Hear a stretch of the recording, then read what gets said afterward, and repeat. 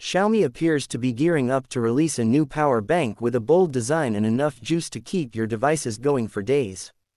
The power bank's images have surfaced showing it off with a see-through front panel that reveals its inner workings. The design bears similarities to Xiaomi's subsidiary brand, Cuktech 20 Power Bank. Even leaked specs of Xiaomi's charger align closely with those of Cuktech's offering. Both have a 25,000 mAh capacity, 3 ports 2 USB-C and 1 USB-A, and a front color display.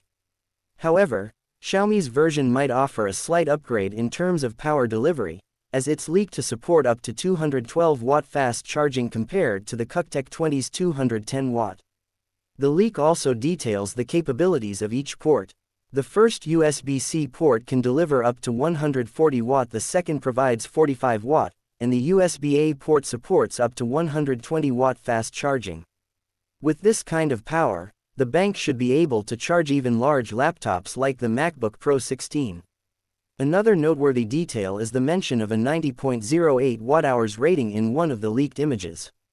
This ensures the power bank is compliant with International Civil Aviation Organization regulations, making it a travel-friendly companion for keeping your devices charged on the go.